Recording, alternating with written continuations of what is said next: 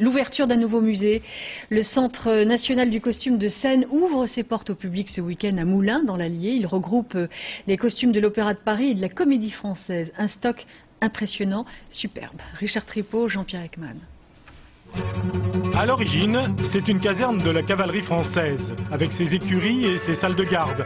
Mais aujourd'hui, dans ce bâtiment du XVIIIe siècle, il n'y a plus de chevaux. D'étranges animaux ont pris leur place. C'est un personnage du lion dans, dans, la flûte enchantée en fait de Stélé. Car tous ces animaux sont en réalité des costumes de scène qui ont connu la gloire à l'Opéra de Paris ou à la Comédie Française.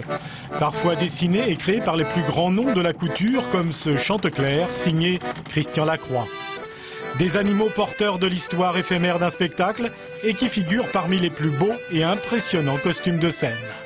Je pense que les costumiers y ont pris un plaisir qui est évident. Euh, je pense que tout le monde, un jour ou un autre, a eu envie d'être un animal. Parce qu'on les trouve beaux, parce que souvent ils incarnent la liberté. Donc nous sommes ici euh, dans l'étage de conservation des costumes d'opéra. Mais les quelques 150 costumes d'animaux exposés aujourd'hui ne sont en fait qu'une infime partie des réserves du centre. Visite au cœur de l'histoire du théâtre, de l'opéra et du ballet. Euh, là, vous avez des costumes donc, de la Dame de Pique. C'est une production qui... Suspendus sur des cintres à 3 mètres du sol, recouverts de papier de soie, près de 8000 costumes sont entreposés dans ces coffres. Ici les plus anciens, qui datent du 19e siècle. Avant d'être rangés, chaque robe, chaque habit a été répertorié, identifié, souvent restauré, regroupés enfin par création lyrique ou dramatique. Il faut les voir, faut les imaginer de loin sur scène, hein, avec ce graphisme, euh, ces impressions sur les tissus.